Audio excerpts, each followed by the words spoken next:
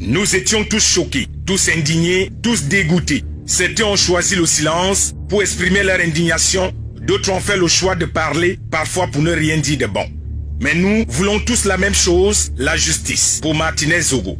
Mais la question est de savoir pourquoi on ne laisse pas cette justice que nous réclamons tant faire son travail. On a dit que la télévision africaine s'est tue, alors qu'elle a simplement fait le choix, dans un pays de liberté, de ne parler qu'avec des faits concrets et fortement établis. Elle a refusé de commenter les rumeurs, comme le journalisme l'oblige, de ne pas commenter une enquête judiciaire en cours ou une affaire pendante en justice. C'est une prérogative qu'offre le métier de journaliste, mais sans empêcher aux autres confrères d'en parler si cela était leur choix. Le tragique assassinat de Martinez Zogo a transformé certains lanceurs d'alerte en procureurs. C'est à croire que la magistrature ne sert plus à rien dans un pays comme le Cameroun. Les journalistes qui doivent réaliser des enquêtes journalistiques et parler avec des faits et preuves palpables sont devenus des journalistes d'investigation des pages Facebook. Comment on peut être à Yaoundé, connaissant où se trouve le secrétariat d'État à la Défense, chargé de la gendarmerie, le CED, la délégation générale à la Sûreté nationale, la DGSN, et la direction générale de la recherche extérieure, la DGRE, et jusqu'ici, aucun journaliste de tout ce que nous avons au Cameroun n'a produit une information différente de celle déjà disponible sur Facebook en menant des investigations avec des preuves palpables à l'appui. Reporters sans frontières est venu nous rendre une copie disponible quelques jours sur les murs des lanceurs d'alerte. Qu'avons-nous appris de nouveau? Nous lisons tous les jours des opinions sur Internet et qui se transforment dans des 20 heures de nos voisins en information. On les entend dire en direct du CED, mais nous nous les voyons plutôt base. Ils disent en direct du CED aux 20 heures, alors que l'image nous montre qu'ils sont sous le soleil. Le Cameroun a vraiment un incroyable talent. Donc, quand il est 20h chez nos voisins, il fait encore soleil. C'est juste une question. Certains n'ont jamais franchi le portail du CED, mais tous les jours, ils racontent des choses qui s'y passent. Nous y allons tous tous les jours et nous les voyons manger les lofombo toute la journée et jouer aux inspecteurs Colombo dans leurs 20h. Nous suivons des comptes rendus qu'ils ont tordus et ils disent avoir accès au rapport d'audition à 20h alors que les dites auditions sont programmées à 23h des comptes rendus devenus comptes tordus, des reportages devenus colportages, l'opinion est devenue l'information. Autrefois, la télévision était un mythe, une affaire d'élégance, de prestance, dont le critère physique aux allures des mannequins était de mise. On voulait avoir des personnes au beau visage, avec une belle dentition et par-dessous tout une très bonne diction. Aujourd'hui, la télévision est devenue la momification, passez-moi l'expression, où l'on confond l'information à l'opinion. On est sur le terrain et on fait des recherches sur Facebook. Pendant que les gens sont dans les mois, la frustration, d'autres en profitent pour faire la théâtralisation, qui vire aujourd'hui à l'obsession. À quel moment en compte rendu, ce simple genre journalistique est l'un des plus faciles à pratiquer, se raconte au conditionnel. Il aurait dit, il se pourrait que, il serait passé à. Ne pas parler ne veut pas dire qu'on n'a rien à dire. Ça peut signifier parfois pour les gens qui ont vécu, qu'on observe ou tout simplement qu'on attend la bonne information. C'est vrai que nous ne sommes pas obligés de nous aimer, mais nous sommes appelés à vivre ensemble dans notre belle patrie et accepter que l'autre puisse penser différemment de vous. C'est aussi ça la démocratie. Le silence est parfois d'or, comme le disaient des gens plus sages que nous. Et ceux qui préfèrent ne pas parler ne sont pas pour autant coupables. Vous me direz qui ne dit rien consent et moi je vous répondrai qui n'a encore rien dit est tout simplement prudent. Certains ont choisi d'en parler, c'est leur droit. Mais en parler pour dire quoi? Donner l'information officielle ou nous partager ses opinions, là est toute la question. Mais n'ayons pas la mémoire courte. À la découverte du corps de Martinez Zogo, on a entendu toutes sortes de versions. Souvenez-vous de cette version d'un lanceur d'alerte installé en France. Il avait dit que ce sont des individus travaillant dans une société de gardinage appelée Ranger Security. Il donnait même des noms. Donc un certain Assimi Gaïtan, qui, selon ce lanceur d'alerte, que beaucoup écoutent tous les jours plus que les enquêteurs, avait loué une Prado noire à Douala, dans une entreprise de location de véhicules, et qui a fait tuer le dit propriétaire, parce qu'il avait remis la Prado avec les traces de sang. Cette version avait été largement partagée et assumée par ce lanceur d'alerte. Pourquoi quelques semaines plus tard, il n'évoque plus lui-même cette version des faits? Où est passé Assimi Gaïta? À force d'écouter les réseaux sociaux, on risque d'être tous coupés de la réalité. Nos investigations, recueillies auprès des gérants des pages YouTube de monétisation, nous ont révélé que ce lanceur d'alerte a gagné en 16 jours, grâce à ces directs, 1 245 950 francs CFA. Pendant qu'on s'indigne de la mort d'un journaliste et qu'on réclame la justice, l'homme de Cro-Magnon se fait du pognon. Assassinat de Martinez Zogo, nous disons oui à l'information, non à l'imagination et surtout à la manipulation.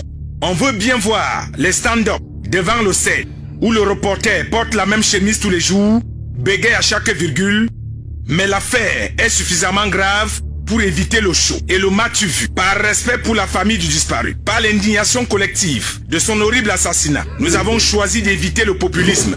On peut vous mettre du sensationnel dans un reportage qui concerne le chien du sous-préfet qu'on a mangé. Faire du sensationnel sur un reportage sur la sorcellerie au village ou sur des comportements d'un benguiste de retour au pays. Mais quand il y a mort d'homme, surtout de cette manière, il faut savoir arrêter de faire du sensationnel pour ne mettre en avant que du rationnel.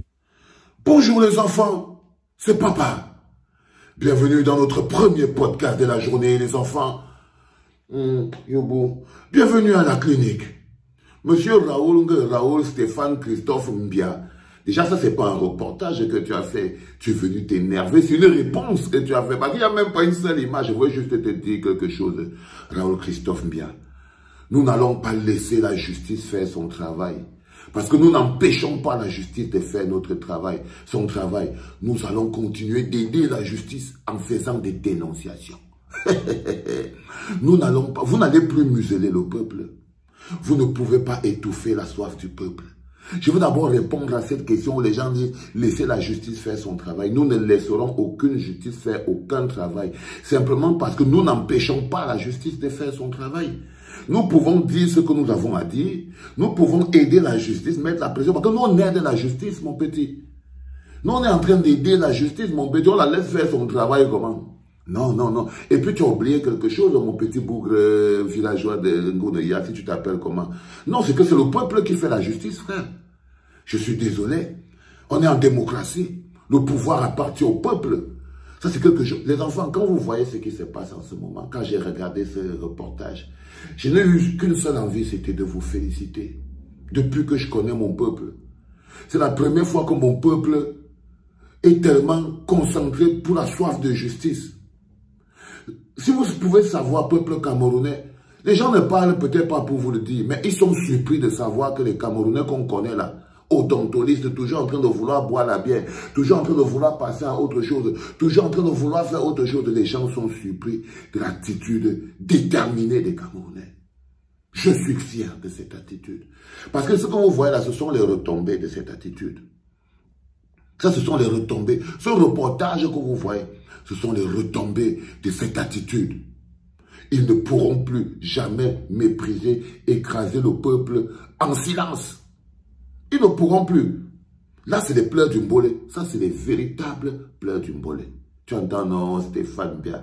Quand tu entends souvent que c'est qu'on n'entend pas tout, pas tout que les pleurs du mbolé. Eh bien, ça, ce sont les pleurs du mbolé, mon petit. Ça, ce sont fondamentalement les pleurs du mbolé. Donc, j'ai entendu même dehors qu'il y a des gens qui racontent que non, il y a des chances que vous soyez libérés aujourd'hui. Amoureux sera peut-être libéré, mais ce ne sera pas aujourd'hui, frère. Ce sera pas aujourd'hui. Ça, ce sont les pleurs du bolé. Et le peuple doit être fier. Le peuple doit comprendre que quand le peuple fait la justice, le peuple obtient la justice. Jusqu'à faire ce que vous faites là, là, on appelle ça l'arrogance du pendu. C'est l'arrogance du pendu, les enfants. Quand j'ai regardé ce reportage, j'ai vu la jalousie derrière, parce que quand vous écoutez, vous sentez que le gars de Guizoro est devenu tellement une star que Guizoro, pardon, quand tu marches, si tu croises les journalistes, mettre de côté la jalousie, veut les tuer. Mais vous n'avez pas à tuer Guizoro avec la jalousie. Monsieur Raoul Mbia et les autres journalistes. Guizoro s'est mis au service du peuple. Guizoro est allé se placer pour donner l'information au peuple. Et le peuple lui rend cette, cette dévotion par l'amour qu'on lui donne. Si vous voulez que le peuple vous aime et que le peuple parle de vous, travaillez pour le peuple. Tu travailles pour Amougou Belinga et tu es surpris que le peuple te déteste, Raoul Stéphane Bia. Amougou Belinga est l'homme le plus détesté de la planète. C'est un horrible personnage. Tous ses employés sont détestés. Si quelqu'un vous dit qu'il vous aime là, vous les gars de Vision 4, anecdotes et tout, c'est parce que vous leur avez donné, il, espère un peu d'argent. Donc, mais quand vous voyez Equinox, vous sentez que c'est l'amour du peuple Et vous voyez la différence entre agresser le peuple avec arrogance, comme Vision 4 et les autres le font, n'a rien à voir avec la classe de la vérité que fait Equinox et Gizogo et tout le reste. Vous voyez ce que je veux dire? Donc là, en ce moment, vous pouvez détecter même la jalousie. Et il n'est pas sorti du personnage il insulte. Avec les dents édentées pour aller manger les lofombo derrière, alors qu'ils ne sont même pas encore entrés au CED. On peut entrer au CED pour faire quoi, frère? Nous, on n'a jamais tué Martinez Zogo. C'est vous qui avez tué Martinez Zogo. C'est pour ça que vous devez entrer au CED et y rester. Et y rester. Donc les enfants, c'était très important pour moi en ce premier podcast de la matinée pour vous montrer cette vidéo qui est un signe de victoire. Vous savez, quand vous enlevez l'arrogance dans la bouche d'un puissant, quand vous enlevez l'arrogance par la pression et la détermination, parce que là, vous l'avez rabaissé, vous l'avez remis à sa plus simple expression. Nous n'allons pas laisser la justice faire son travail, monsieur Raoul Stéphane Bial, simplement parce que notre travail n'empêche pas la, justice de faire son travail. Hein. Nous, on aide la justice, on aide la justice, on dit chez nous que si ce que tu vas dire ne dépasse pas le silence, la plupart du temps tu fermes ta gueule. Donc là, je crois que tu avais envie de parler, mais tu aurais dû te taire. Tu aurais dû te taire. Mais moi, je suis content que tu aies parlé parce qu'il me demandait que, mais, depuis qu'on a pu au coup des gens, si, hmm, ça ne sort pas, j'entends même pas, mais, mais, on a pu, là, j'ai entendu les pleurs d'une bolée. Les enfants, aujourd'hui, nous allons mener une activité très compliquée parce que on a une pétition le ministre Laurent Esso de la justice, garde des Sceaux, toujours ministre au Cameroun, c'est une insulte. Nous ne pouvons pas l'accepter. Nous ne pouvons pas l'accepter. Je vous le dis les enfants. Mais on ne va pas tout mettre. Je voulais juste enjoy les pleurs d'une bolée. Parce que c'est comme ça que ça s'appelle cette vidéo aussi. Les pleurs d'une bolée. Allez les enfants, pour le premier podcast, j'étais super content de vous retrouver. Portez-vous bien, rendez-vous dans quelques heures pour le deuxième podcast de la journée. C'était papa.